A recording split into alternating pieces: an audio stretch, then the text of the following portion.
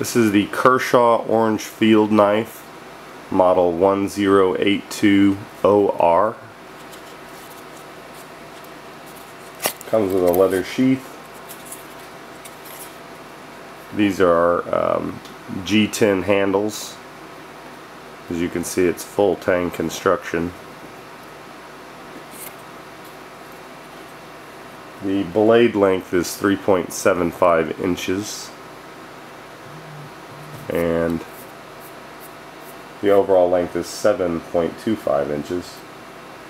The blade is uh, Sandvik 14C28N stainless steel.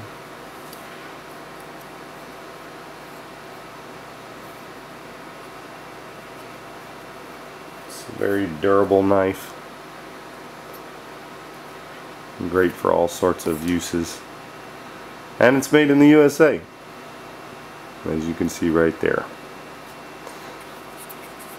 So again this is the Kershaw Orange Field Knife 1082OR. It's the model number.